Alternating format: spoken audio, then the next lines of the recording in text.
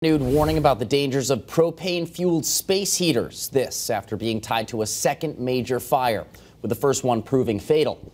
Western Mass News reporter Maria Wilson has the story. Western Mass News is getting answers after a second propane-fueled space heater has been tied to a fire, the latest in Brimfield last week where one person died.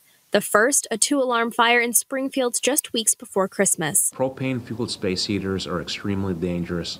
They're illegal in the Commonwealth of Massachusetts because they're non vented, so uh, they generate a large amount of carbon monoxide. Springfield Fire Commissioner BJ Calvi first warned the public about the dangers of using these propane heaters inside homes after the fire in his city. Now he's reissuing this message. There's no situation where someone should ever be using one of those inside their home to get heat. The propane tanks that fuel these heaters are the same tanks that are used in many popular outdoor items like grills and outdoor heaters. If they're used outside, they're perfectly safe. Once you use them inside a residence, they just generate too much carbon monoxide.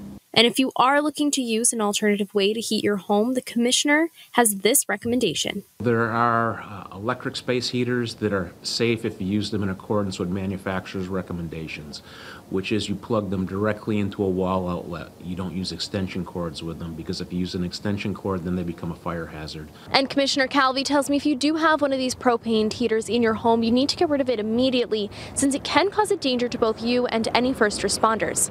For now, reporting in Springfield, Maria Wilson, Western Mass News.